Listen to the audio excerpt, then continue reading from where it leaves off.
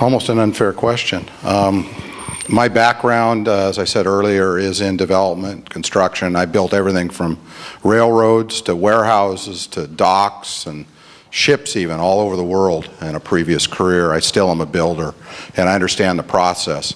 I also write paychecks every week or every month and I pay subcontractors so I understand what the process is.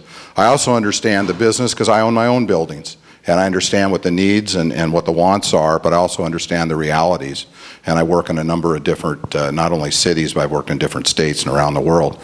The skills that I bring are those skills. I can look at a project, I can look at a developer and say that if they're making a demand on us, it's reasonable or it's not. I can make the economic analysis, uh, as I even did on the, uh, before I was on the council, on the Totem Lake project. Unfortunately, partners don't get along, that happens. I have that problem myself sometimes.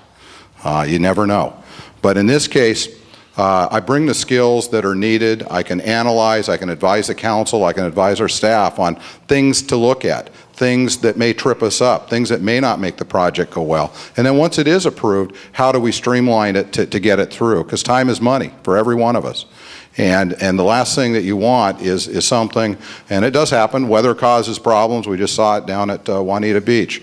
But things that we can control, we have to control. And, and I think I'm a good, uh, I'm a good sounding board. Uh, staff uses me regularly for that now. So I look forward to uh, doing more of that. When and if the, uh, I should say, hopefully short, shorter rather than longer period of time, when the economy does come back and the partners at Totem Lake get their act together and Park Place uh, is able to move forward. Thanks. Thank you.